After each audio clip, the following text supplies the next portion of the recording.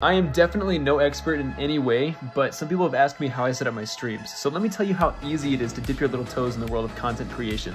This is day 12 of becoming a content creator before the end of college, and I'm in the process of learning how to create long form video content, including streaming on Oh, Twitch. I got him! I promise I'm not playing video games for a living, mom. It's called content creation, and it's, it's cool.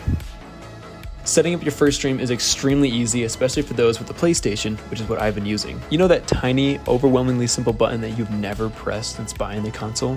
Press it.